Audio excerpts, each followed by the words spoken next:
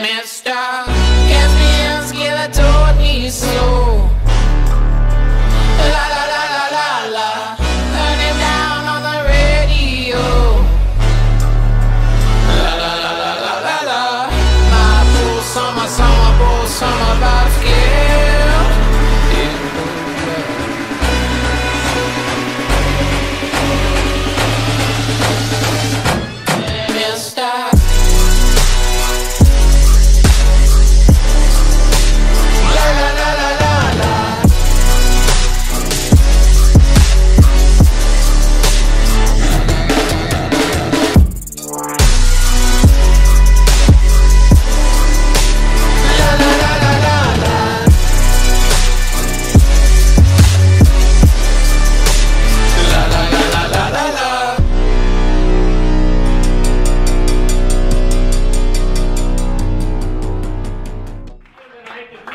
goosey of the night's gonna go to a guy who's gonna be able to afford a lot of goosies in his lifetime.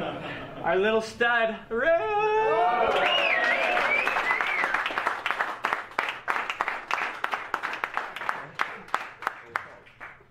Uh, good game, boys. Uh, nice to get a win. Uh, let's keep it going.